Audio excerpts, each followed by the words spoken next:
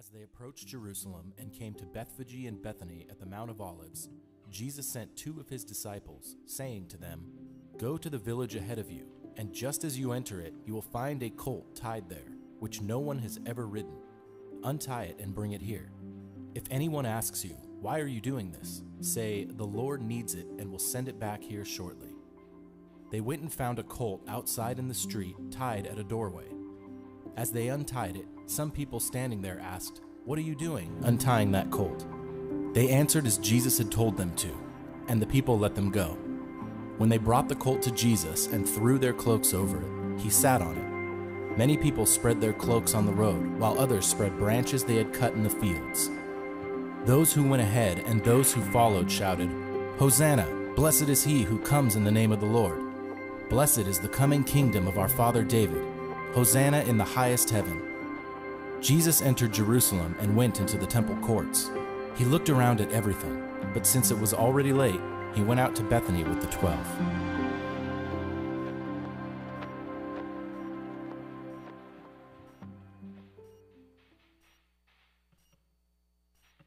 Well, it's good to be with you this morning. Would you stand? We're going to sing Hosanna to our God.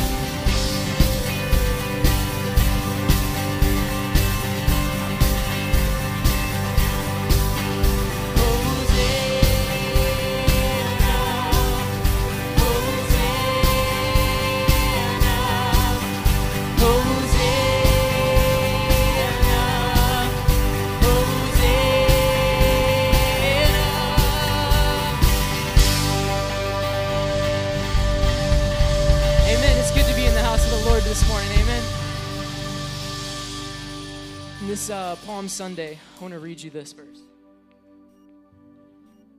It says in uh, John chapter 12 that the next day the large crowd that had come to the feast heard that Jesus was coming to Jerusalem. So they took branches of palm trees and went out to meet him, crying, Hosanna! Blessed is he who comes in the name of the Lord, even the King of Israel. So as we see Jesus, he's walking through the city, and everybody's crying out, Hosanna, Hosanna. What does Hosanna mean? Do, do we know that? Hosanna means save us, deliver us. They see Jesus and they, they're waiting for this Messiah to come and deliver them. And they see Jesus and they cry out, Save us, deliver us. So, just as we're living our day to day lives, are, are we looking to Jesus to be the one to save us, the one to deliver us? He's the only one, the only one. So, as we go into this next song, we're going to lift his name, Jesus, Christ, be magnified. Let his praise arise. So, I want you to lift your voice this morning, sing to him. If you want to take a moment just right now, just close your eyes. If there's any sin, if there's anything that is holding you back, whether this morning, this week, anytime, that you feel is just, it's between you and the Lord, confess that to Him now. Come to Him with a heart of praise, with a heart of worship, and just glorify Him this morning.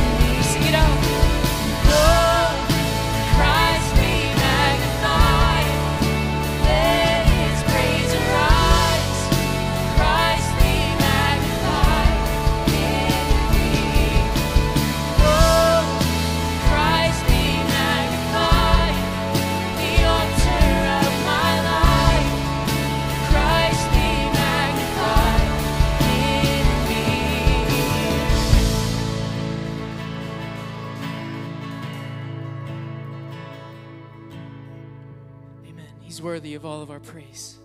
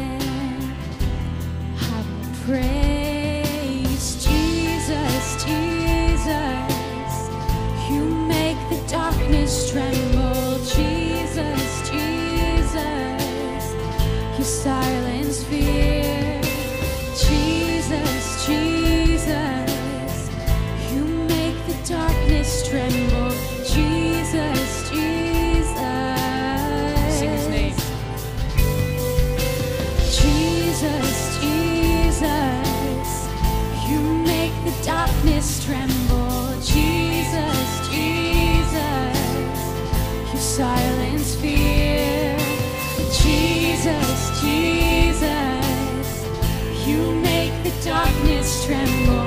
Jesus,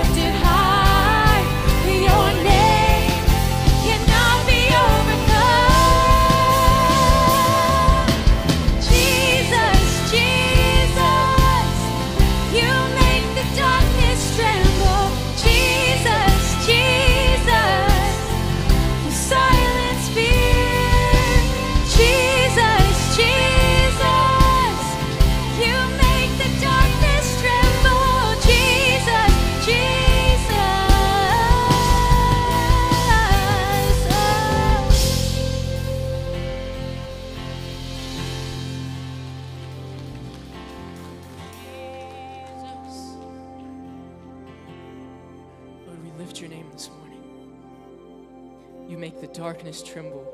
We sing Hosanna. We need you to save us. We need you to deliver us, Lord. We don't have to walk this path alone. You said you'll never leave nor forsake us. We thank you for your promises that never fail. They're never ending, Lord. Your love is overwhelming. We praise you this morning. We pray that you'd be glorified in all things. In your name, amen. Good morning, Mission City. I hope you guys are doing good this morning. My name's Kimmy. I just want to welcome you guys. Yeah, okay. So, first, I want to start off by letting you know that we have a couple ways to give. You can give online or safely and securely in that box in the back. We also want to welcome first time guests. If it's your first time, we don't expect anything from you. We actually have something for you. There'll be a gift on that table that you saw when you walked in. And then we have some cool announcements coming up next at Mission City. So today is Palm Sunday, which is awesome, which means next Sunday is Easter, and we're gonna have two services for that. And then April 14th um, is gonna be our two year celebration, which is awesome because I remember when we were meeting in living rooms. My first time walking in Ronnie and uh, Melanie Williams' house, I was so nervous, but everyone just welcomed me, and we want to create that same atmosphere here at Pacetti Bay Middle School, and we're just so excited for that two-year anniversary, you guys. April 20th is also going to be really awesome because at 6 p.m. we have a night of worship, which is going to be here at Pacetti Bay. And then April 22nd through May 27th, we're going to have some exciting things coming up too. Discipleship course, which is going to be awesome because we all need a little bit of discipleship, you know, you know. Um, we are so happy that you guys are here today, and we're going to continue our study in Mark. So open up the word.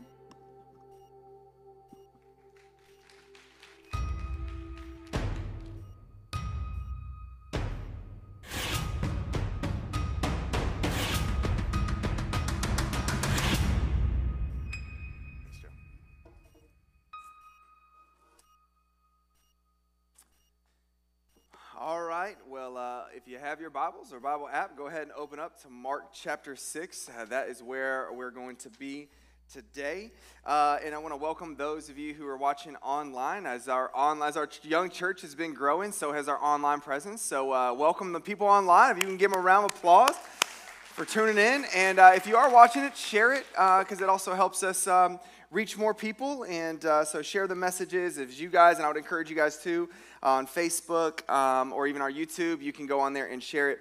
Um, one thing that you saw on that slide that Kimmy was just mentioning that we want to talk about to those of you who have a fourth or fifth grader or know somebody who has a fourth or fifth grader, or you're going to be having a fourth and fifth grader coming up here soon. Crazy, third grade going into fourth grade. Um, starting April 14th, we're kicking off a new ministry called Mission 45. So they're going to have their own space. What we're going to be doing uh, now that our kids' ministry has grown, and you know, if you're a fourth and fifth grader, like you get it. A lot of times they're back there with kinder all the way through third grade, and sometimes they really want their own space. So, what we're going to be doing starting April 14th is they will now be in here for the first few songs of worship, and then as the before the message we're going to dismiss them with their leaders and they're going to go and have small groups during the sermon. So they're now going to be having their own space which is really uh, exciting. And then also tonight if you have a student in 6th through 12th grade we have at 6 p.m our student worship service. Bring a friend it's going to be fun it's going to be really great. Uh, that's going to be at 6 p.m at uh, providence bible church okay? So if you know a student, bring them and uh, students who are here, bring your friends, come to that one. Y'all know it's going to be a great one. All right, so I have a question as we're kind of kicking off. Have you ever have you ever been rejected? You ever been rejected? I've been rejected, okay? I remember one time, and these were my clubbing days. We'd go clubbing and dancing and all of that, okay? So we were in the club, and my friends happened to see there's some girls looking in our direction. And these girls are looking in our direction. This is, by the way, this is pre before Phil was bald. Okay, Phil, I had the Gotti boy fade. Y'all may not even know what I'm talking about. Temp fade with the spikes. Your boy was looking good. Air Force Ones, double collar popped. Anybody? Jersey Shore to the max, yo. so this girl, you know, they're kind of staring in our direction. And as they stare, my boys, you know, it's typical. Hey, she's staring at you. I'm like, me? She's staring at me? Yeah, she's staring at you, bro. I'm like, man, they're like, you need to, you know, you need to go make a move, Phil. It's time. So I did something which I don't know why I did, but I did what almost looked like a scene from Scarface, not advocating the movie, where I just come, mm, you know, come walking up, dancing to this girl like this, to where, like, what in the world was I thinking, yo? Go up to see if the girl would want to come dance with me. I got rejected, and um, the worst part about being rejected when you walked that far to go all the way over there.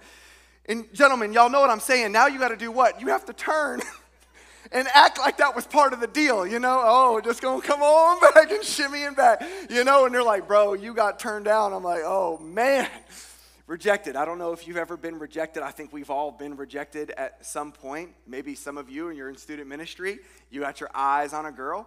Well, we live in a day now where girls are asking out guys too, okay? So it's a thing, all right? Girls, maybe you got your eye and you're like, I'm gonna make a move. And I don't know, maybe you've been rejected before and it hurts. Maybe there's gentlemen in here, like, you finally, you got your wife because you were so persistent. You were that guy. She kept rejecting you, rejecting you, but you were the guy who was not going to take the cue. You know what I'm saying? Like the cue out the window, no EQ, no emotional quotient where you're like, hmm, you know what? I don't think she's into me. But you know what you did? You kept on wearing her down, man. You kept on wearing her down. And now what? You're like, she's married. She wearing that ring. I got her, man. I got her. You did it, man. I don't, you did it. She's like, that man just wore me down by asking. You didn't care about being rejected. You know, uh, maybe for others of you, it's been a job. It's been a type of job that you really, really, really wanted that job, and then, then they kept turning you down, turning you down, turning you down, and you got rejected. And maybe for others of you, that when you think about rejection, you've also been rejected by family members. Like maybe it's your brother in law, your sister in law, maybe it's your own siblings, maybe it's been your mother, your father, you know, whoever it might be in your family, and you just have sensed that, that they just reject you. Not even just sense, you might just outspoken just know they reject you. And it's awkward when you're around family who ends up doing that to you. See, the point is, we all go through rejection. But what about when we face rejection as a Christian? Because rejection hurts regardless, right? Like nobody likes to be rejected. But then, whenever you add it, whenever you're a Christ follower and you get rejected for your faith, you get rejected because maybe you've been inviting a friend to church and they keep rejecting you and it hurts. Or maybe you've been wanting to share the gospel with somebody, share the good news of Jesus with somebody. And as you keep on trying and trying, you keep getting turned down, you keep getting rejected, and no matter what, it hurts. I mean, all of us, myself included, we all want to be liked. We all want to be, you know, somebody who says they speak well of us and all of that. And nobody ever really wants to be rejected. So it, even when it, it comes to our faith, it stings, man. Man, it stings. Uh, I actually just got rejected recently. Um, I was pretty much inviting some people to Easter, to which the person pretty much gave me that look. Y'all know the look where it's like, I don't, not interested, you know? And she didn't even say anything. She just gave me the look. And I still was like, oh, that hurt my feelings. Yeah, hurt my feelings, you know? It's like, all right, Phil, stop being a snowflake. But anyway, well, Jesus, the passage that you guys are going to see, Jesus is going to be rejected by his own people. Literally, his own hometown. He's going to be rejected. And as you probably can imagine, um, it doesn't feel good, no matter what, whenever we face this rejection. And the point that Jesus is also going to teach us is this He's always so great about prepping us with things. The reason I say that is because he's going to prep us of saying rejection is actually a common experience among Christians. So don't be alarmed. Just be aware of it that that is going to be a common experience as Christ followers, especially, check this out, especially whenever you really start to live on mission. You know, our taglines live on mission. What I mean by that is where you're more intentional to invite friends, you're more intentional to build relationships to see those people come to faith in Jesus. You do that and watch and see, you'll experience more rejection. And so he tells us, just be aware. Starting in verse 1 in Mark chapter 6. And he says this He left there, Jesus, and came to his hometown, and his disciples followed him. When the Sabbath came, he began to teach in the synagogue, and many who heard him were astonished where did this man get these things? They said. What is this wisdom that has been given to him? And how are these miracles performed by his hands? Isn't this the carpenter, the son of Mary, and the brother of James and Joseph and Judas and Simon? Eh, aren't his sisters here with us? So they were offended by him. And Jesus said to them, A prophet is not without honor except in his hometown, among his relatives, and in his household. So, right here, you read it, but just to recap. So, Jesus, he goes back to his hometown, which is Nazareth. Mark doesn't name that, but we know that it's Nazareth. So, he goes back to his hometown, and his own hometown, his even his own family, has rejected him. And then, as a rabbi, though, so as a rabbi, they had the authority to teach, and they would kind of be like traveling, you know, pastors per se, just to put it in that kind of context. And so here he is as a rabbi, and he goes into his hometown and he goes to the local synagogue to go and teach, and he taught on the Sabbath, which was their day of rest and their day of worship. And could you imagine, like, the people as Jesus comes walking in, and now he's kind of building this platform. He's a pretty well known rabbi at this time. They've already heard all these stories, the things that he has been doing, and then he walks in to teach in the synagogue, and a lot of people he grew up with were probably like, Him? Like, he's the He's the one teaching us today. I remember when I remember when he was little, and now he is the one who's going to be our rabbi expounding the scriptures today and and they were astonished. You saw that in the verse. That he says that they were astonished. They were astonished at his teaching. This guy had so much wisdom and authority, and he unpacked the scriptures in ways that they had never even heard it before. And so they were astonished at this. And one reason that they were astonished is because Jesus was not schooled in the traditional rabbinical schooling. So if you were like an upper comer, you had the intellect, like you were somebody who was the up and coming class, that you could really be a promising rabbi and somebody who would make many disciples, typically you would go to your school, kind of like your elementary ed per se, and you would do all that. And then if you were the person who showed promise, you would go to this school called Bet Midrash. So that would be the school where you would go and actually like get your seminary degree per se, okay? So they would go and this is where they would really understand and get taught the scriptures, but you had to be chosen to be selected to that. And if you weren't, then what you did is you took after the family trade. Well, we know his family trade after his earthly father, Joseph, was a carpenter. The text actually tells us that, and we know that he was a uh, a carpenter. So Jesus, at that point, he didn't go to Bet Midrash, which would have been the schooling that the up and coming promises, uh, promising uh, rabbis or the students who would become possible rabbis would go to. He didn't go there. He didn't go to that. He went and followed after his earthly father to become a carpenter. So the point that I make is he didn't go to the traditional school, and yet here he comes in and now he's a rabbi and he's teaching them. And could you imagine they're thinking, they're like, whoa, whoa, whoa, you, you haven't, you didn't go to Bet Midrash. You're like, you haven't done the schooling, and here you are now, and you're our rabbi? Bro, you've been a carpenter. You didn't even get selected to go to Harvard, okay? You didn't get to go to the top seminary, and here you are now as our rabbi teaching us. And as you saw, they were astonished at his teaching, but they were also rejected him. They didn't want, they just kept being they kept associating with everything that they had known about him as being a carpenter. What's interesting is we associate him carpenter. It actually could have been one of two things possibly both stonemason and carpenter because if you go over there there's a lot of stonework so he really could have been more like a stonemason and also a carpenter.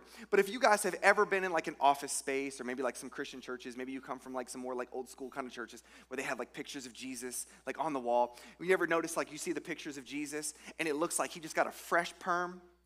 He's got a slight tan not too much and it looks like he's got a vino hands. You know what i'm talking about? Vino hand, like he'd be a hand model. All right? No, he was a stonemason and he was a carpenter, which means he worked with his hands. He had callus on his hands. He was a man's man. He was tough. He was strong. He's not always the pictures that we associate with. And now here he is, and he's up there and he's teaching with this wisdom and this insight and this authority that they had never heard before. That the people in his community, they had never seen before. And they're blown away because they're again associating, thinking, I'm familiar with you, bro. I know you. The logical conclusion, though, as they're coming to this point of saying, Where did he get this wisdom? Because that's really the question they were asking. Where did he get this wisdom? Like, he, this authority that he's teaching. Now, at this point, that they had already heard the rumors that Joseph was not his earthly father because people called him illegitimate, and that God was his father, that he was actually sent from heaven, and Mary birthed him. So the reason I say that is because they had already heard the rumors and all the conjecture of saying that, is he from God? And then he comes in and he's teaching them with all this authority and this wisdom and this power.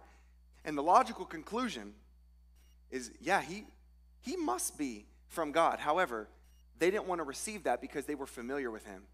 So they rejected that. Publius actually said this quote, if you can put it up here. Publius the Syrian, he said this familiarity breeds contempt. Familiarity breeds contempt. Now, I don't think it always breeds contempt. That's not necessarily, I'm not going to the fullest extent of that. However, when he said this, he's making the point that we become so familiar with somebody that have you ever noticed that even in marriage, it's like everything was so great when you were in the dating phase and then the, maybe even the engagement phase, and then you get married, and then some of the newness wears off, and then you start nitpicking. Well, I don't like the way you do the dishes. I don't like the way you do that, you know? Why do you respond that way? And you start nitpicking each other, the newness of why? Because mm, now you're becoming familiar. There's some familiarity now that can end up breeding that. We do the same thing with our family, right? With our kids. Kids do that to the parents, and parents do that to the kids. And we start to nitpick one another. Why? Because we're so familiar. You would never do that to your boss, especially if you're new on the job, or don't do that. Don't be that guy if you're that person. But familiarity starts to breed this type of contempt where you're like, I'm familiar with you. And so then we start to nitpick people and we see this. And, you know, I was even thinking about, um, as I was thinking about like celebrities, I was thinking like Taylor Swift. Like, I, I know there's some Swifties in the house. I know that. I know there's Swifties in the house. I, I get it, okay? My wife, she likes Taylor Swift, all right? But I thought, could you imagine, like, if you grew up with Taylor Swift? Like, you were like a friend to her and you were very familiar with her, and now she blew up and she's this international famous person. You're like, I knew Taylor when she was nothing, man. You know, whenever you get around your childhood friends, you know, no matter how successful you are, I don't care how successful any of you guys are, you know, whenever you get around your childhood friends, you know, you go back to all the nostalgic stories, you dog one another, because you don't care how successful that person is. You're like, bro, I knew you when you were in high school and you were a nobody. or when she was a nobody, or when you did them dumb things, okay? So you end up knowing that. Why? Because familiarity. You weren't really worried, you're not really, uh, you know, you're not impressed by that person whenever we spend so much time. That's what happened here with Jesus. They were so familiar with him, they had seen him grow up. They had this concept of him. They were so familiar with all that, and they were like, oh, yeah, we pretty much dismiss him and we reject him. Whenever I became a Christ follower, I had friends of mine, because really, whenever you become a Christ follower and you get saved out of a specific lifestyle like I did, one of the hardest things to do is to go back and reach some of your friends. Do you know why? Because they associate everything back with you. You're like, bro, don't preach to me. I remember when you were smoking weed with us.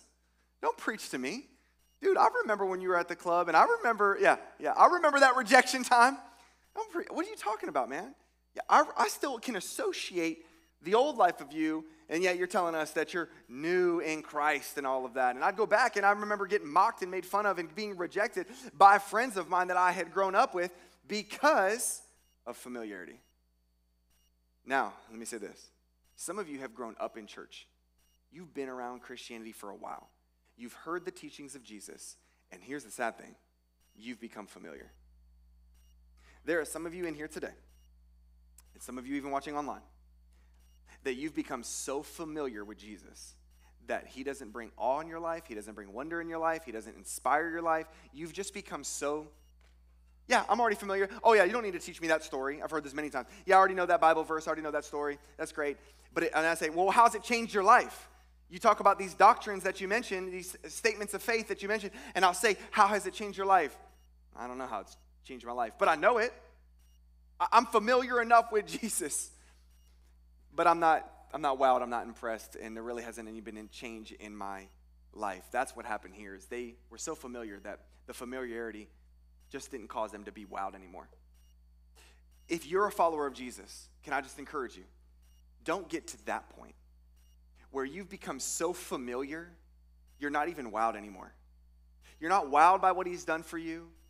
You're not in awe of the fact that he has saved you. He died on the cross for you. And this is a great week to really contemplate that. Don't let that type of familiarity breed that type of, and I don't want to necessarily say contempt, but just that, that contempt and hostility where it's like, even if you would never verbally say it, internally you feel it, where it's just not wowed you anymore. And then verse 3, it says that they were offended by him. Did you see that? It says that they were offended by Jesus. Now, okay, many people love Jesus. You saw the sinners and tax collectors, and all these people would come to Jesus because there was so much to love about him.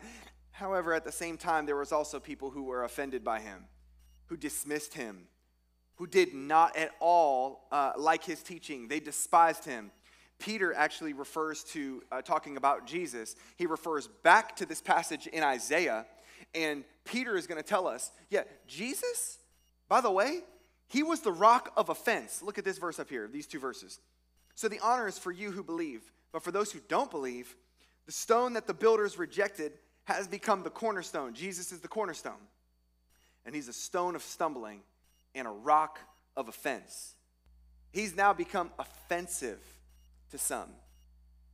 That they already think that they know, or they don't like his teaching, they despise him, and they're offended by him, and here they are now.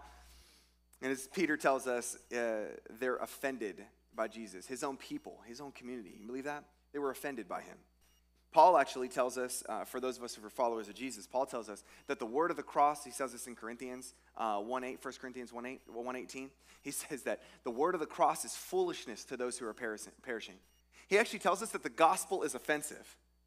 that whenever you really start to live on mission and you tell other people about the gospel, guess what? You're going to experience hostility. You're going to experience rejection and you're going to experience pushback. You will. Don't be alarmed whenever it happens, but it will happen. And if you don't believe me, this week, just go live on mission. Just every day, start telling people about Jesus, and you're going to experience it real, real fast. Now, just because the gospel is offensive, it doesn't mean that we need to be offensive. You know what I'm saying? We don't want to be Christian jerks. Anybody ever met those people? Yes. None of y'all are Christian jerks in here. Trust that here. Nobody.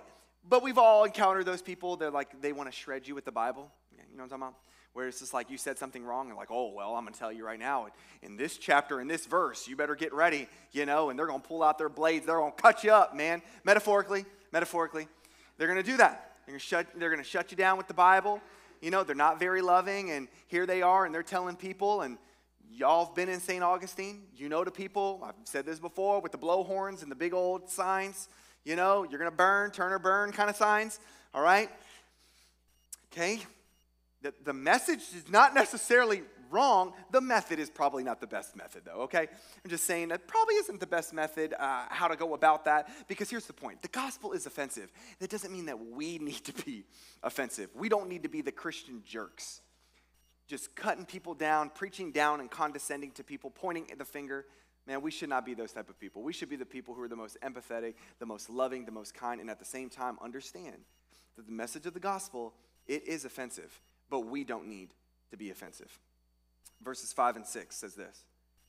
He was not, talking about Jesus, he was not able to do a miracle there, except that he laid his hand on a few sick people and he healed them. And he was amazed. Think about this. He was amazed at their unbelief and he was going around uh, the villages teaching.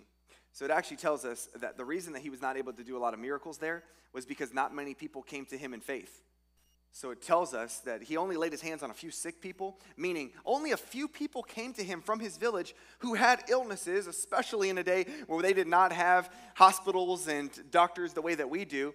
And so now you got this healer who's coming in, and only a few from his hometown, again, because they were familiar with him and only a few actually had the faith to come to Jesus, and the rest of his community didn't want to come to Jesus. And it says that Jesus walked away amazed at their unbelief. He walked away amazed at their unbelief. Did you know in the New Testament, there's only two times, two times that it says that Jesus was amazed? One of them was with the centurion's faith. The centurion was a Roman centurion. He came to Jesus out of faith and put his faith in Jesus, and he acknowledged that all the power and the authority that Jesus had was from God, meaning he was that Jesus was sent by God and from God. Therefore, he acknowledged that, and Jesus was amazed at his faith. He said, I haven't seen faith like this. You know the other instance where he's amazed at? Right here. But he is not amazed at their faith. He's amazed at their unbelief.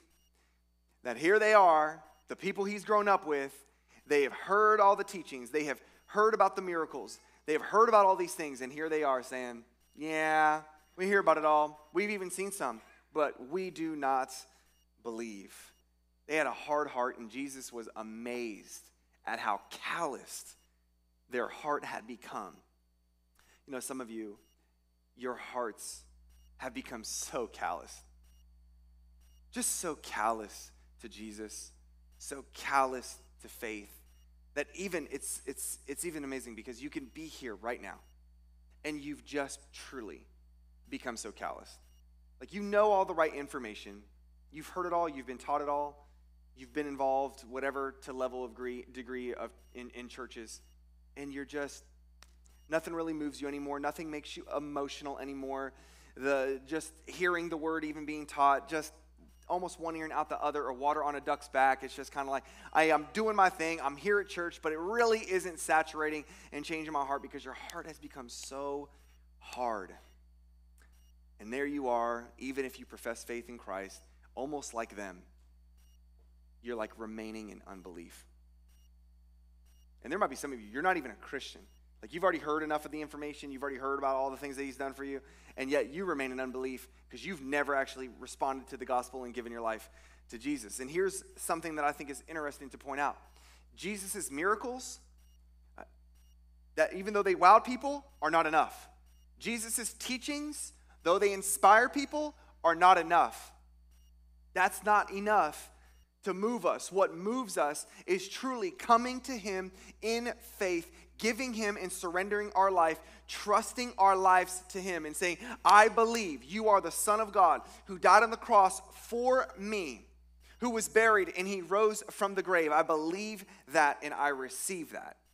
The gospel is the fact that you can't achieve it, but you receive it by faith whenever you put your faith in the eternal Son of God who died for you. Hebrews 11, verse 6 says, Now without faith, or without faith, it's impossible to please God.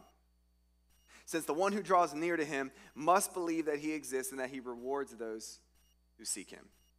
Man, are you somebody who's seeking him right now? Because he says, if you seek him, seek him with, whole, with your whole heart. He says, you'll find me.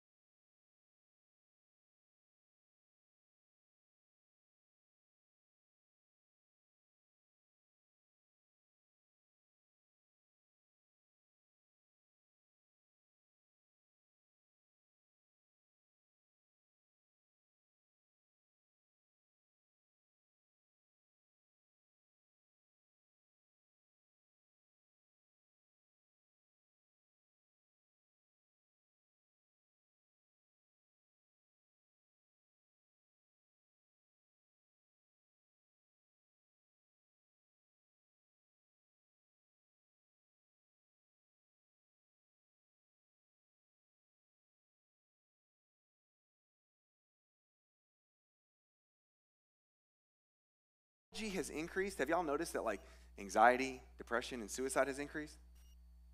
It's like the moment you start to see technology really increase, this is the 90s, the 2000s, and now, uh, you know, in the 21st century, obviously. It's like as it's increased, it's, you see more and more stories of people struggling with deep levels of anxiety, deep levels of depression, and even dark suicide. Now, I'm not, I don't know if there's a correlation. I think that there could be a correlation to that. And I think one reason is because as technology has, has, has given a rise, here's what's happened we become more isolated.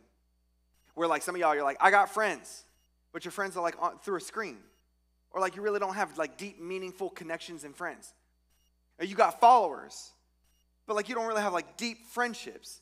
And those are not the same thing. And it's sad that our students are being taught that almost it's the same thing. And yet, look at what's going on with all of our students and our kids. The Gen Z and the Gen Alpha, what's kind of going on with that? Man, all I'm just trying to tell you is this we need one another. If he tells them you need one another, he didn't send them out ISO'd. Like, yo, you're just going to roll by yourself. You need one another. You need community. You need brothers, you need sisters who are going to walk alongside of you to encourage you because there's going to be times you're struggling in your faith. You need somebody to help lift you up who knows what you're walking through. By the way, on the flip side, you might have a friend who's really struggling, going through just a difficult time in their faith, in their marriage, in their parenting, and you might be the person who ends up lifting them up and help encouraging them. We need one another. You cannot do this faith on your own. And for any of you guys who are interested in community groups, get connected. Whether that's if you're involved in the life of the church here, get connected here. Find brothers and sisters to get connected with. Or if you're involved in another local church, do not just be an attender. Get involved. I promise you, it really will change the dynamic of your faith. Verses 8 through 13. And he instructed them to take nothing for the road except a staff, no bread, no traveling bag, no money in their belts, but to wear sandals and not put on an extra shirt. He said to them, Whenever you enter a house, stay there until you leave that place. And if any place does not welcome you or listen to you, when you leave there, shake the dust off your feet as a testimony against them. So they went out and preached that the people should repent. They drove out many demons and anointed many sick people with oil and healed them. So here, Jesus, he gives this instruction uh, to the 12, specifically to the 12. The text is indicating that that they shouldn't take any food, any money bags, or, or any travel bag or anything like that, but they were to learn how to depend solely on God. Jesus wanted them to travel light for the mission that they were going to be on. Now, some people have actually used these verses for Christians to live as minimalists, meaning minimalist, you ain't got much at all, like barely anything, you know? I know some Christian minimalists uh, there's a pastor that I follow over in Portland, and he swears by it that we should only have seven outfits, one per day. I'm like, bro, what? Like, you are tripping, man. No, I can't do that. You might be somebody that does that. No judgment. That's fine. If you do that, no judgment. We're not that kind of place here, okay? I'm just saying these verses are not to teach Christian minimalists where you just live very minimal on almost nothing. That's not the point of this. What he was specifically doing was teaching the 12 to learn how to rely on him. He's testing their obedience and he's testing their faith. He's saying, hey, I don't want you to go out with much because I want you to see how I'm going to provide for you. It was really a level of test for them. However, there's an application for us that we also need to learn how to depend on him and not depend on things.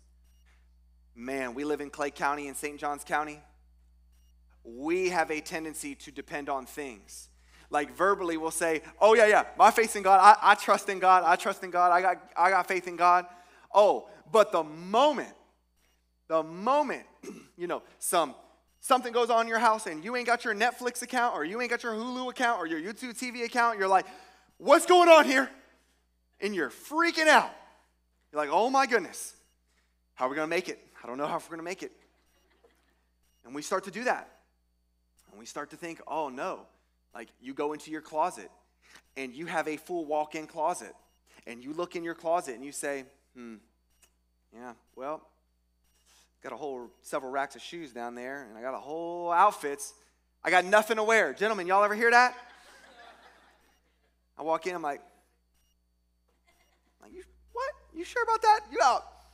Whole thing. It's not what he's telling us here is that we, we need to learn how to not depend on things and learn how to depend on God. We, we, we tend to have this tendency, I think, in our culture, that we depend on, we depend on our intellect, our success, our money, our intuition to be able to navigate certain things.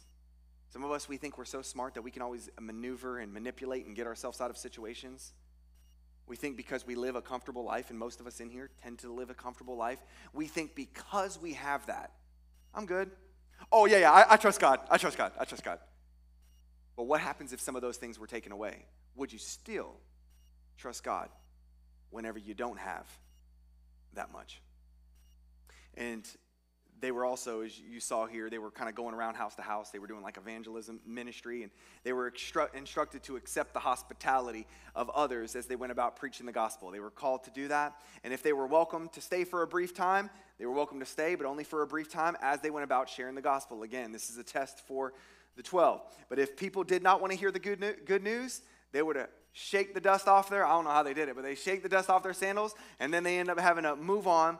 And the reason they did that was a sign of judgment and responsibility on those people, saying, Hey, I've shared the gospel with you guys. I've told you about Christ and what he has come to do, that the kingdom of God is here, and you didn't want to receive it. That's not on me. but I at least did my, my obedience.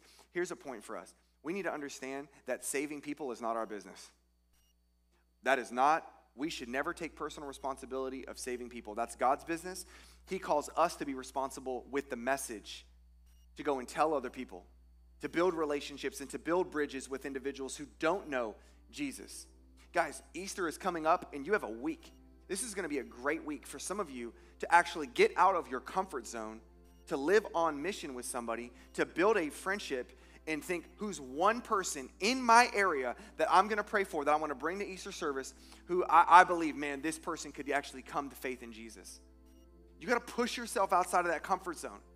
He's doing that to his disciples, to originally the 12, but telling them, listen, the responsibility to save is not on you. That's God's responsibility, but He calls us to be, be responsible with the message. And that's what we're called to do. There was a, um, when I was in corporate sales, there was a um, book that we were I was told to read, and it's called Go for No. It's called Go for No, and I've always remembered this story because in sales, especially if any of you guys are in sales, sales can be hard sometimes. All right. And I was an outside sales rep, and so going and hitting up businesses, and even though I had accounts, I was also called to, to drum up new business, and it was challenging at times. And I, my, my business manager gave me this book called Go for No, and there's a story in there, and it shared this. So, in the book, the premise is this stop going for yeses and start going for nos. Because so many times we'll go for like a yes. And in, in, in, the sales world, if you like, let's say I'm going to have two yeses today in my sales world. And let's say, at the, let's say your first two sales call, you got two yeses. You're like, oh, I'm done for the day. I got two. Say, and he was saying, no, go for nos because then you won't be as discouraged when you get rejected and you get no. So his point was saying go for no. And here's what he shared. So there was these, um, there was these scientists, they had an experiment. They had a big glass tank of uh, minnows and a hungry fish. They put a glass partition in between it. And they observed something interesting that they saw this hungry fish beat against the glass partition to go and get its lunch. So it's beating against the, the glass for a couple hours. And they're noticing banging, banging against it. And then they observed something interesting. The fish retreated slowly back to the corner of the fish tank. Then they came and they slipped the glass partition out. And do you know what the fish ended up doing? Not what you think. The fish sat back in the corner and didn't do anything. And it had lunch if it just would have gave it what? One more shot. And then my manager told me this what could be on the horizon if you're just willing to get yourself up? And this is in the sales world, but this is going to tie spiritually. What if you're willing to just give it one more shot? What could happen? What could happen if you're willing You've been rejected, been rejected. Person no says no, says no. What if you're willing to just give it one more shot and you never know what could actually transpire if you're just saying, I'm going to try one more time? And then in verses 12 through 13, as I finish, Jesus, he commissioned them to preach the gospel, to cast out demons, and to heal the sick. And here's what this means this was a sign of the inauguration of the kingdom of God that has arrived with the physical representation that it has arrived by casting out demons, seeing people healed, and then uh, and seeing people delivered, and then also seeing people healed. We are called to live on mission, to build friendships with our neighbors and with people who do not know Jesus, to see those people come to faith in Jesus. You guys, it is not just the pastor's job, it is not just the staff's job. If you are a follower of Jesus, it's your job to be intentional to build relationships. Understand rejection is going to happen. So prepare and just embrace it. And go out there and make a difference for the kingdom and for the gospel. I was somebody who rejected the gospel for four to five years, but I had people who did not give up on me. And then there was a day that I finally came to myself and I realized I'm a sinner who deserved judgment and I wanted Jesus to save my life. And it changed my life. I bumped into a couple girls at a coffee shop not too long ago who um, my intentions weren't the best intentions with these uh, ladies. However, they ended up inviting me to church and they even picked me up and they brought me to church. And I told them, I said, You may not know this, but I'm a pastor now. I even started a church and I want to say thank you for praying for me. Thank you for bringing me to church because what you don't know is the fact that you helped change my life. You helped me meet Jesus. And I don't know if I, who knows what would have happened if they didn't do that. What hangs in the balance by you and I saying, nah, I'm more worried about my comfort. I don't want to be rejected. Who could be the next whatever? Ministry leader or life being changed and going and making an impact just because you said, I'm going to try it one more time. Let's pray. God, I really pray that you would inspire your people this week to go and to live on mission, to take an opportunity one more time to tell somebody or to invite somebody about Jesus or invite them to church. And I pray, God, that you would do something so miraculous next Sunday. And not just next Sunday, but even, mo- even more and beyond through the lives of your people who said yes to Jesus and said yes to living on mission. In your name, amen. Um, at this moment, uh, you guys, um, our guys, if you want to go ahead and come up and I'm going to explain what we're doing. We're about to do communion now. And so, um, Spencer, uh, Jim, and Ronnie are going to pass out the elements. If you're, just want to be clear, if you have not given your life to Jesus Christ, communion is not for you. I want to be very clear on this. This is for Christians as we commemorate, we celebrate, and reflect what Christ has done for us. Now, you can give your life to Jesus right there in your chair and then partake of the elements, but I just want to make sure that I'm clear on this. This is for Christians right now. And as they're passing out the elements before you play the video, as they're passing out the elements, you're going to have about a minute and a half. Confess sin in your life, confess areas that you have been more worried about your comfort than living on mission. Whatever things are going on in your personal life, okay? We're have a, uh, a minute and a half video that's going to be played, and then we're going to take the elements together. So hold off on taking the elements if you guys want to go ahead, dim lights, and, uh, and play that video. In the city of Jerusalem, whispers of anticipation are heard everywhere. The streets are alive with the news of the imminent arrival of Jesus of Nazareth. Jesus sends two of his disciples to fetch a donkey and its colt. He rides into Jerusalem, fulfilling what was foretold by the prophet Zechariah. As Jesus enters the city, a large crowd gathers to greet him, spreading their cloaks and palm branches on the road in a display of honor and reverence. The atmosphere is one of celebration. This is Jesus, the long awaited Messiah, the embodiment of hope and salvation for a weary world. The people cheer. They shout, Hosanna! Blessed is he who comes in the name of the Lord. And whether they know it or not, as Jesus passes by them, they are witnessing the face of God in the humanity of this man on this borrowed donkey. This Easter, you're invited to discover the King of Kings and the Lord of Lords, and to experience the overwhelming gift of grace and salvation that's being offered through the life, death, and resurrection of Jesus.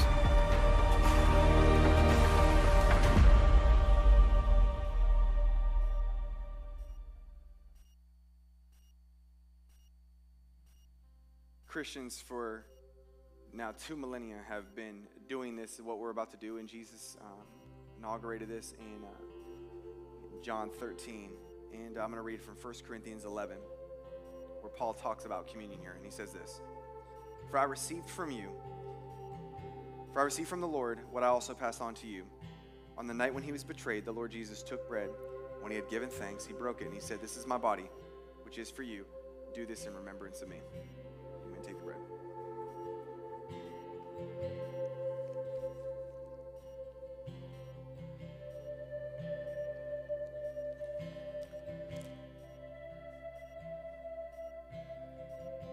The same way, he also took the cup after supper and said, This cup is the new covenant in my blood. Do this as often as you drink it in remembrance of me. For now, as often as you eat this bread and drink the cup, you proclaim the Lord's death until he comes. Hold on to this as you, um, whenever we finish the service, you can throw it in the trash, okay?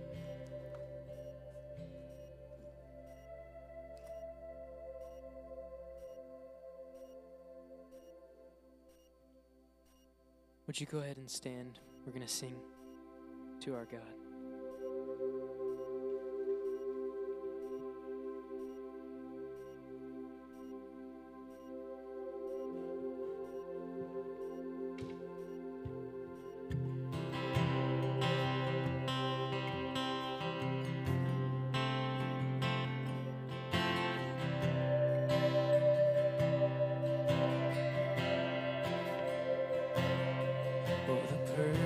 perfect Son of God in all his innocence, and walking in the dirt with you and me. He knows what living is, he's acquainted with our grief.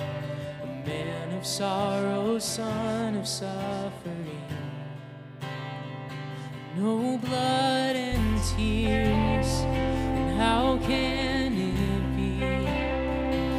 there's a God who weeps, and there's a God who bleeds, and no praise the one who would reach for.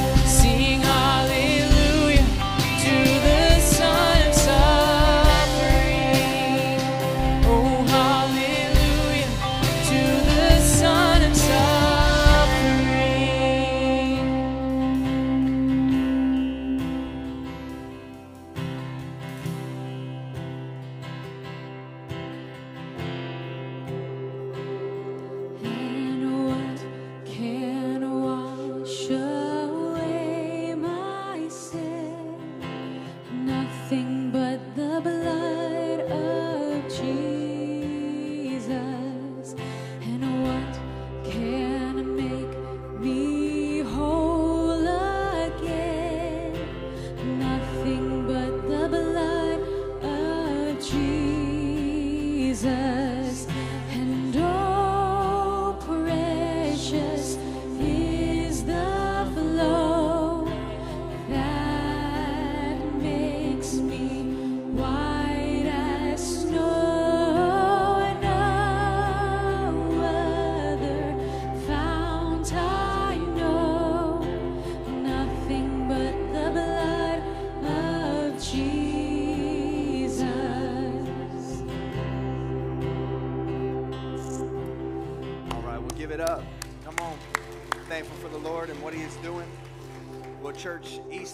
Next Sunday, and uh, we've mentioned that several times, so hopefully that's not a surprise at this point. If you didn't know, it's next Sunday, so here you go. And um, any of you guys who want to get plugged in and find a place to serve, um, man, let us know. You can uh, fill out a Connect card on the website or one in the back and uh, drop it off in the offering boxes, and we'll have someone follow up with you um, this week. But also, this is your week. I'm challenging you guys. Bring somebody. Don't come alone. Invite a friend. Let's see what God can do through you just by saying, Yes, I'm going to step out of my, my comfort zone. So, hey, we love you guys. We got invite cards for y'all. Before you leave, find somebody you haven't met before and introduce yourself. We'll see y'all Easter Sunday.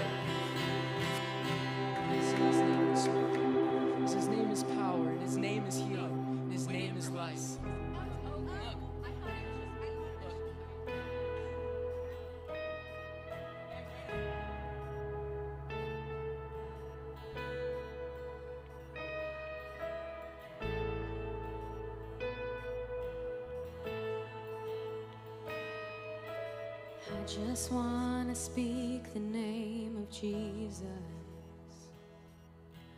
over every heart and every mind. Cause I know there is peace within your presence. I speak Jesus.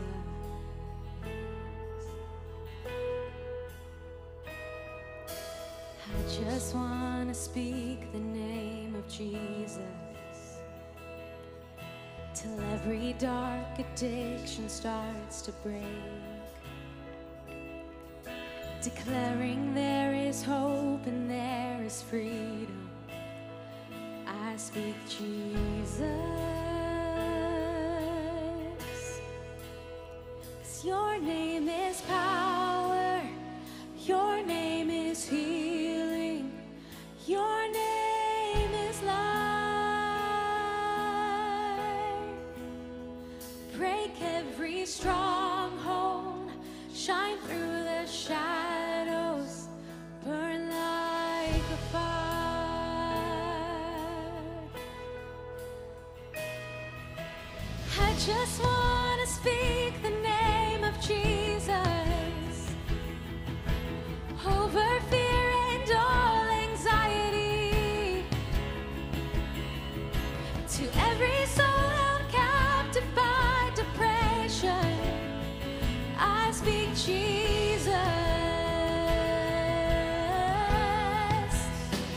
your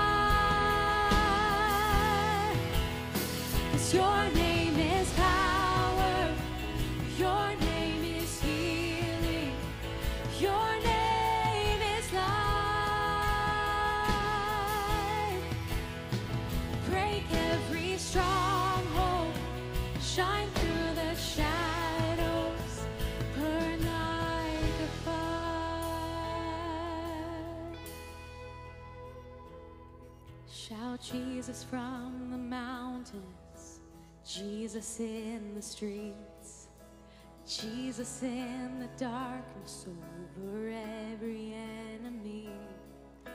Jesus for my family, I speak the holy name, Jesus. Oh, oh, oh. shout Jesus from